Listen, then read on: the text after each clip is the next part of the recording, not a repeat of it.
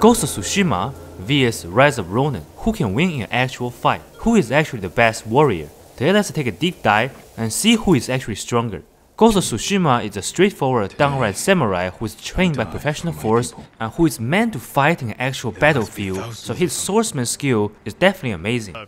And Rise of Ronin, just as his name, is Ronin, and he's being trained by the Veiled Edge as assassin. And Veiled Edge is known to train one of the best assassins, which means their combat skill when fighting enemy one by one should be unmatched. So who's actually stronger? That's actually not a straightforward question. It depends on what scenario they are fighting and what job are they performing. First, let's start with a fair duel.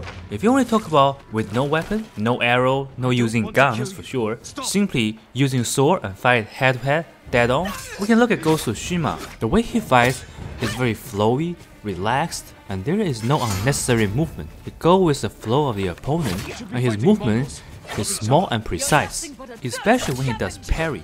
He's not actually using his brutal force to break enemies' attack. He simply just hold the sword steady, turn around his body, and then let the sword pass and he can attack from the back.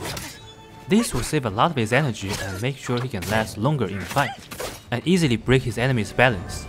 And on the other hand, in the Rise of Ronin, you can see his movement is fast and actually bigger. It does have a lot of power in it, and when he does parry, you can see it just simply uses brutal force to break enemy's attack. This seems strong and powerful, but if it's in an actual combat, he won't last long. So as the fight drags on longer, he will slowly get weaker and weaker. So if Ghost of Tsushima and Rise of Ronin fighting a heavier combat, most likely the result is beginning they break even, because both of them are still samurais. And as the fight drags longer, Rise of Ronin will slowly lose his strength faster than Ghost of Tsushima, and that's when he will lose. Second, let's talk about fighting a real-life situation which involve using all kinds of weapons, basically guns, kunai, the hook, throwing stuff, anything you want. In this way, Rise of Ronin might have the upper hand because as a assassin ninja, he has a more nasty move compared to Ghost of Tsushima which is being taught as a righteous samurai who use sword and arrow.